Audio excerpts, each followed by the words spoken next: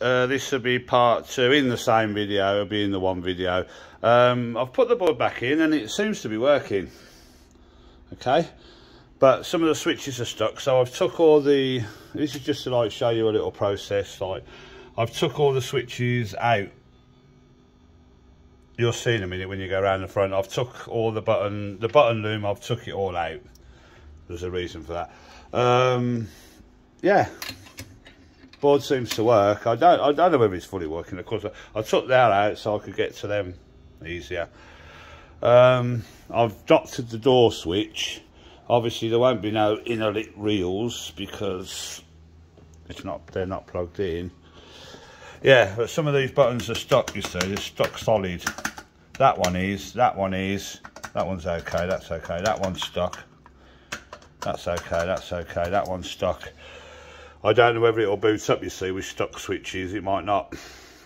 So, obviously, I'm going to have to take these out. I'll take all these out and take them home. I'll have to clean them. It'll just be, it'll just be grime in there. That one's solid. That's cash. That one's all right. So that can stay. But that one's no good. And I think that stuck down would, would mean the machine won't boot bit of a bright lamp there that's always a little bit worrying seeing that but all the the ones that are flashing seem to be okay so the board might be a working board, the, the reels boot and that. So yeah, that's like a part two. So we have some kind of life, obviously, so the, hopefully the power supply and the board are working. It's not chunked any payout slides.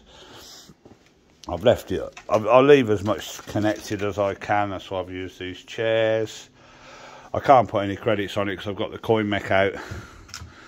Although I might, I might put a, yeah, I might put a quid in and see if I can play it. Ah, I heard something then. All right, okay. So, there you go. Part two. See you in a bit.